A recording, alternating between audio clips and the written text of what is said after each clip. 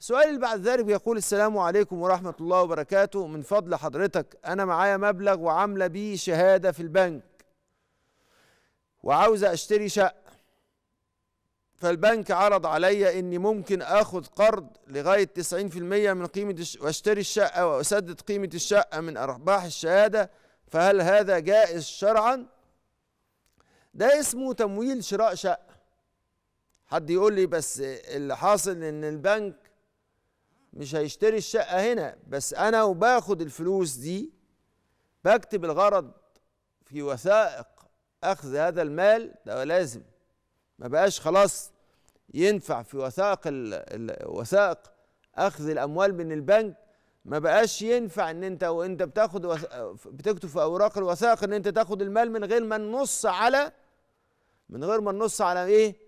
على سبب أخذ هذا المال. فإذا كان سبب أخذ هذا المال هو شراء الشقة هنكتب كده إن المال مأخوذ لشراء الشقة وتم الموافقة على هذا الغرض من شراء الشقة تحول هذا المال الذي أخذته إلى تمويل إلى ماذا؟ إلى تمويل كون إن هذا التمويل ده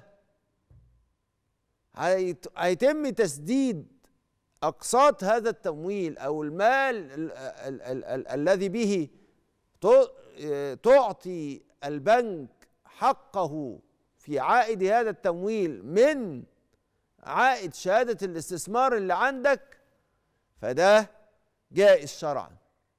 يبقى إيه اللي حاصل؟ يبقى ده جائز وأخذ المال في هذا المعنى جائز شرعا لأنه من قبيل التمويل وتسديد الأموال من قيمة الشهادة اللي عندك ده جائز شرعا لأن هو نوع من أنواع الوفاء بالتعاقد الذي تم عن تراض فيكون هذا جائز وليس فيه شيء.